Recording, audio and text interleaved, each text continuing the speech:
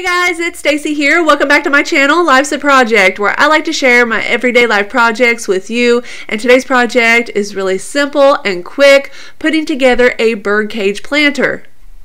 So for this project, I really only needed to purchase a plant. I already had the little container and this decorative bird cage. I love the bird on top, the distressed kind of blue-gray finish. My mom and I were actually out last year together at Michael's and purchased one of these. So we each got one. Thought it'd be really fun to decorate with.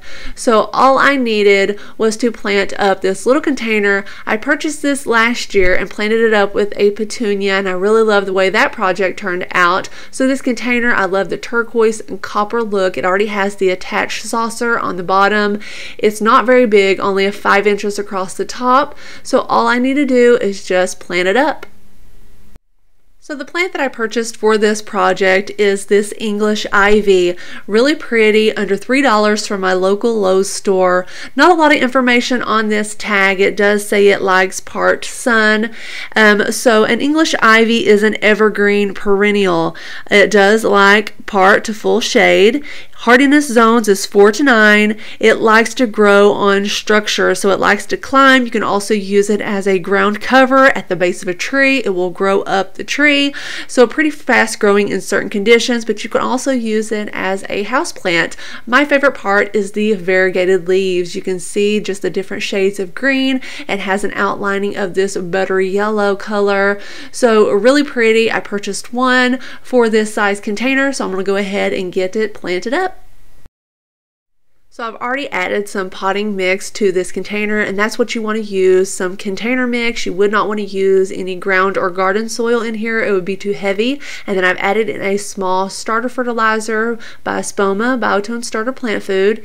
And, and now I'm just making a well here in the center, making room for the plant's root ball.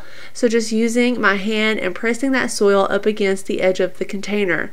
Now when you remove the plant from its nursery pot. Just be careful. I like to weave my fingers in um, around the stems, kind of supporting the plant as I remove the pot. So the root system looks good. I'll just place it in here and then just press it lightly. I just want to make sure that there is no kind of large air gaps or air spaces between the root ball and the soil.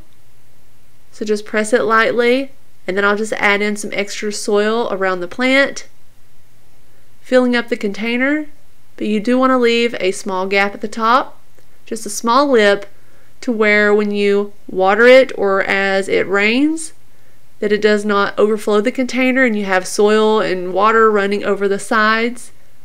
So just leave a little gap at the top. And that is pretty much all there is to it. So I think it looks really good. So I'm all planted up now. All I have to do is place it down in this bird cage and it is super windy out here, things blowing everywhere. But I'm going to place this container down in here and you want a bird cage like this one that has a nice big opening, a large door here on top because some of these bird cages are sold with a little door in front. So you want to be mindful of that when you are choosing a bird cage if you want to do a project like this. Now I'm just going to work these vines, some of this ivy, these leaves out the spaces on the top here of the bird cage. I think it's really pretty if this grows outside as well as inside. And now I just have to use this little latch here and close the top. And you can actually, um, if you're worried about an opening, use some wire or something to help support the latch. And that's it. So I'm going to go ahead and clean up my space, then I'll show you what it looks like. So here it is all finished and I just have it sitting here just to show you really quickly what it looks like on my little rock edging wall here. And I think it turned out really pretty. I love that you can see through the bird cage, you can see the container, just the pretty colors, you can see the you know ivy just vining up here and I think it's just really simple. And you can do so much with this project. Really it has a lot of possibilities. You can do succulents other houseplants you can put it inside on a table because it has the flat bottom. Um, you can also use the ring on top to hang it from a hook from a shepherd's hook. You can plant flowers in here. Just so many possibilities. So this is where I want to hang it on my mailbox hook. Now I really like to dress up this area all year long, all the different seasons, different holidays.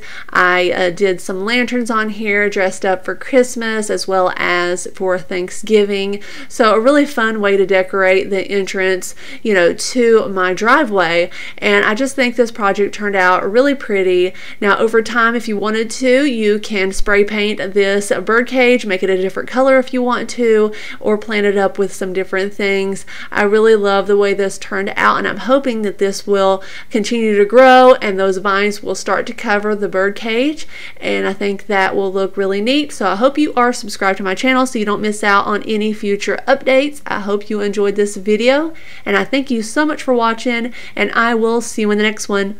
Bye.